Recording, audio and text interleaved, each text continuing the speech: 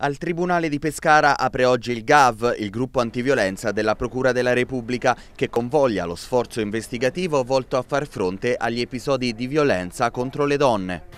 Si tratta fondamentalmente di un'idea eh, che pensiamo innovativa e pilota nel mondo della giustizia perché cerca di avvicinare sempre più il mondo problematico delle donne e delle cosiddette fasce vulnerabili alla giustizia, creando eh, una sorta di intermediazione tra le forze dell'ordine eh, che sono direttamente sul territorio e la procura perché vi sia un'interlocuzione diretta. Il gruppo è costituito infatti da forze dell'ordine specializzato nel settore, si sono scelte persone esperte nel campo prese sia dalla polizia che dai carabinieri. È un gruppo molto coeso che eh, cerca in qualche maniera di eh, far sì che tutte le indagini che vedono la presenza di parti offese vulnerabili, in particolare donne, si sentano vicine alla giustizia, non altro dalla giustizia, non vedano la giustizia come qualcosa di distante e difficile da raggiungere, ma che vi sia un immediato ricorso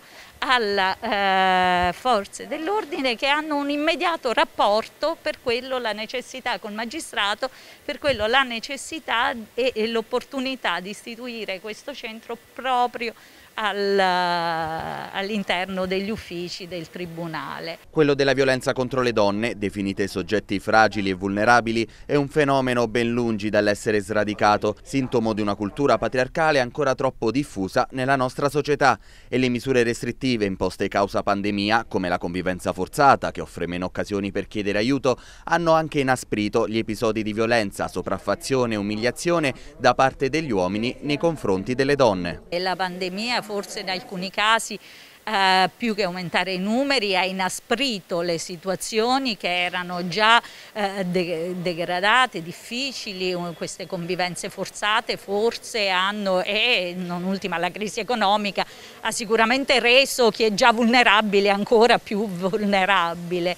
E quindi il problema è proprio la eh, difficoltà delle donne di avere eh, una coscienza della, eh, della, loro fragilità e la consapevolezza di poter essere tutelate effettivamente. Ad ogni modo, anche dopo aver chiesto aiuto a parenti, alle persone fidate o alle varie associazioni e cooperative, quella di denunciare alle forze dell'ordine rimane una libera scelta della donna.